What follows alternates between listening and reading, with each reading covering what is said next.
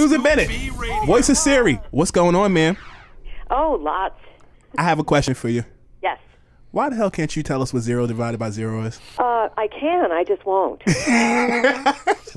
I mean, what what was it about that that like what did you decide to answer that way? Was that something Apple told you? How did that work? Like no, no, no. I have I have absolutely nothing to do with what Siri says. Okay. Um, I just provided the voice, and so it's the programmers and computers, you know, that that determine exactly what Siri says.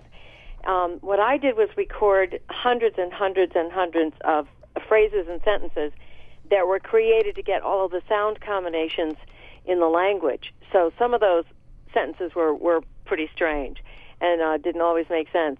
Um, and uh, then afterwards, you know, the, the computers and the technicians and the programmers go into the recordings and extract sounds, form them into new phrases and sentences, and those are what end up on your devices. So it's an amazing process. It's called concatenation. So there's a new word. There's a new word for the day for for your audience. catenation?